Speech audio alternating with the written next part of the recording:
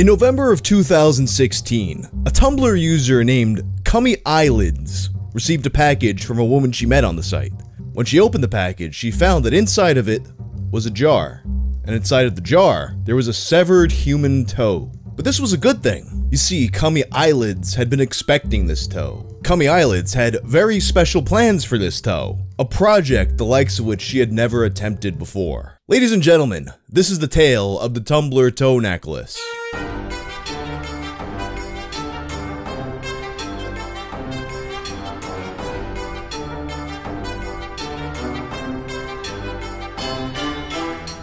This video is sponsored by Raycon. I've had my Raycon earbuds for a few years now, and I still use them all the time to listen to music or podcasts. Wear them a lot when I'm going for runs. I hate doing cardio, but you know, having it helps. And they stay in for that. Look, I'm shaking my head, and they're not falling out. The everyday earbuds have a great look and feel with optimized gel tips for the perfect in-ear fit. Raycon offers 8 hours of playtime and a 32 hour battery life. With their built-in mic, you can take calls at the press of a button, and Raycon start at half the price of other premium audio brands. But they sound just as good. And they come with a 30 day happiness guarantee. If you don't like them, just send them back. It's no wonder that Raycon's everyday earbuds have over 48,000 five star reviews. Just click the link in the description box or go to buyraycon.com slash whang. You'll get 15% off your Raycon purchase.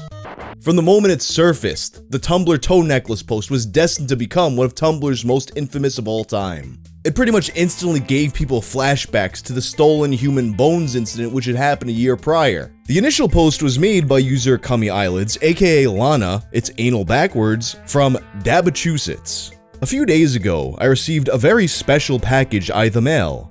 It contained this amputated human toe, belonging to the lovely Royally Oily. Like, literally, this is a toe off of her foot. I'll be changing the solution, putting it in a new pretty jar, and potentially making it into a wearable pendant. Taking on this project is so super meaningful to me, more so than any other jewelry project I've taken on, including the engagement ring. I'm so appreciative of her trust in me, and I'm so excited to get to work on this.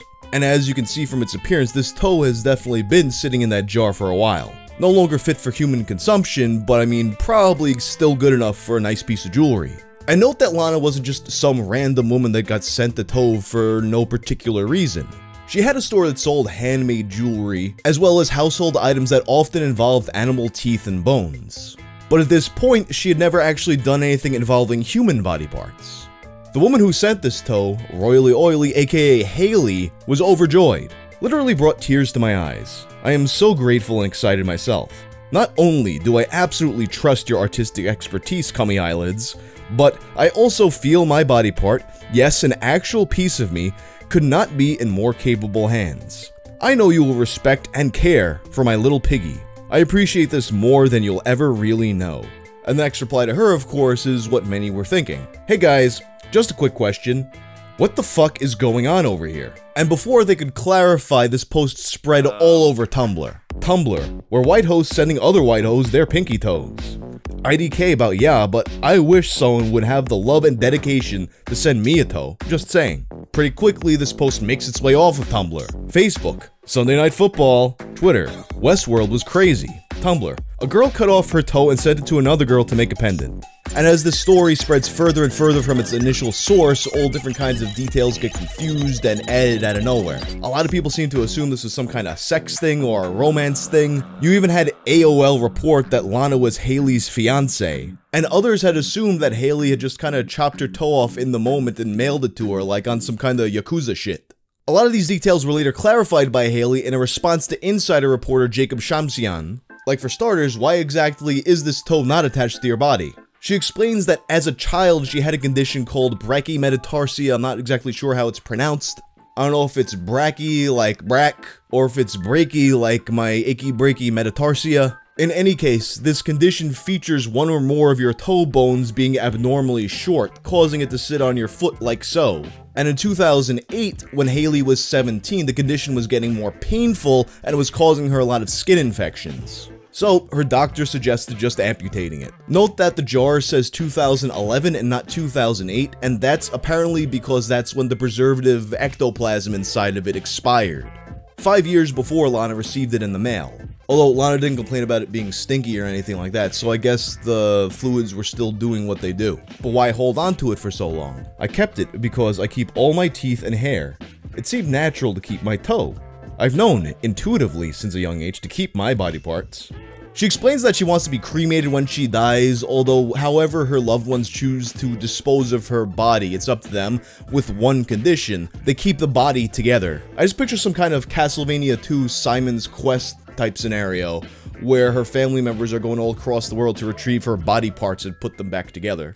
But I mean, fair enough. I think that if I ever had a body part removed, I would want to do the same thing. From what I've heard, some of these doctors get real stingy about giving you your body parts back after they cut them off, and it's like, yo, I'm already giving you way too much money. It's, there's no free lunches here. Give me my body parts back, doc. You want my toe? Pay me for it. But then, so you have the toe, why make it into jewelry? Above all, the most important thing for me is that it's preserved. It's hard to explain how much I love my toe. People are so caught up in it being weird that they've overlooked that it's a part of me. I actually get depressed sometimes just thinking about how it was a part of me and now it's not. I know that sounds insane, but whatever, it's just true. And she goes on to explain that she feels a sense of guilt for having removed it. In a way, she thought it helped her develop the thick skin that she has now as an adult. Having a fucked up toe shaped her personality in ways that she came to appreciate. An example that she gives is that her cousin was bullying her about the toe and called her stubby and at some point locked her in a cabinet for hours at a time. Clearly something that would be a formative experience to a young mind. So she felt that by turning it into jewelry and keeping it on her all the time, it would kind of get rid of some of the guilt she felt for having removed it now. And I can kind of understand where she's coming from with this. I mean, if you have this deformity that it it shaped your personality in certain ways and made you the person that you are. And now as an adult, you're walking around with your personality being the way that it is because of this, but you've removed the source of it in some way it almost feels like kind of like a stolen valor type of thing. Even though these characteristics are coming from real experiences, not having the physical thing there might almost make them feel inauthentic. And in terms of her vision for the actual piece of jewelry, she wanted a big bulky piece with a gothic aesthetic and maybe some steampunk elements. Which, looking at Cummy Eyelid's work, it's definitely a good choice for this type of jewelry. In fact, Haley had actually contacted other artists before this, but Cummy Eyelids was the first one to actually accept the job. Unfortunately, I can't seem to find how the necklace turned out. If I do come across it somehow, I'll keep you updated on it. In any case, after this post went viral, Cummy Eyelids began to be approached by a lot more people about making more human body part jewelry. Yeah, teeth, ribs, pieces of brain. It's not clear how any of these specific pieces turned up, although ultimately it does seem like she eventually would get into collecting and working with more human body parts. It was in January of 2018 that Cummy Eyelids would go viral once again, this time for a pair of posts regarding real human skeletons. In one of them, she's simply posing with a real skull, handsome skull friend and I, and in another, one of her friends found a young female partial skeleton at a flea market and bought it for 30 bucks. The flea market claimed that this specimen was obtained from a university, but people were suspicious of the origins of these skeletons. Another fucking bone thief? So this post blows up, she's viral once again, with only a surprisingly few amount of people putting together that, wait, this is Cummy Eyelids, this the toe necklace girl. And the people disturbed by this go into a bunch of different factions. Like you have the ones who are merely disgusted by the idea of buying a human skeleton at all. Why the fuck would you buy a child skeleton and for what fucking purpose? Because it's fucking cool as fuck. Others question the ethics of the sourcing. Honest opinion, you probably shouldn't keep her. A human body old enough to have been carelessly discarded from a university probably wasn't from a time when university cared if their anatomical specimens were obtained through ethical means. Whoever that girl was, she and her family quite possibly did not consent to her body being used after her death, and keeping her remains consequentially might not be the most morally sound thing to do. Honest opinion? We don't care. If you don't personally collect human remains, then your opinion is not relevant right now. Smiley face XO.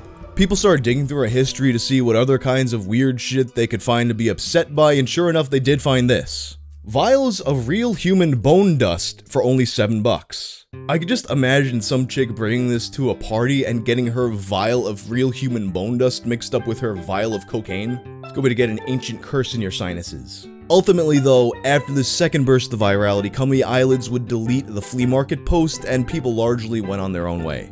So where are they now? Cummy Eyelids store, Pastel Alien Shop, is still active, although, you know, there's no human pieces for sale. It's a lot of cement statues and planters, crystal pieces, and a few that incorporate animal bones. Honestly, I think a lot of this stuff is actually cool as fuck. As for Royally Oily, the woman who sacrificed her toe for the jewelry, it appears that she deleted her Tumblr account and a few years later had her username taken by an account that appears to be a blog about babies that posts resources for women who are struggling to get pregnant. Stuff about doing yoga to get pregnant better. I don't know if it would be better or worse that the person who owns this pregnancy blog knows the history of that username. But anyway, that's the story of the Tumblr toe necklace. If you like this video, check out my video about the Tumblr witch who used real human bones. I'm out.